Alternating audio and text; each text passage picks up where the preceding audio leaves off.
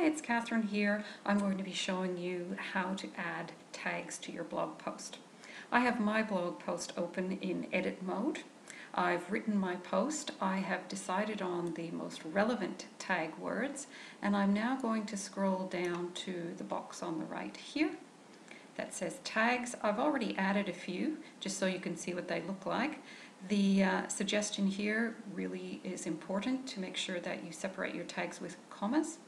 And also just to note that if you put a tag in and you wish to remove it, that's as simple as clicking the little X next to it. So let's put that one back in. I'm going to add two more. And I simply click add and they are now all contained underneath there. If I go to my dashboard page and look at all posts, there is only one post in this blog, I can also see the list of tags there.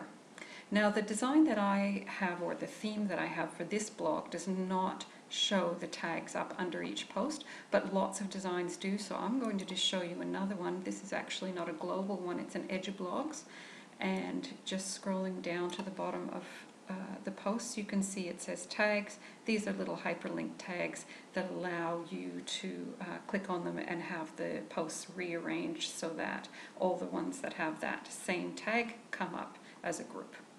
And that's all there is to it. Thanks for listening.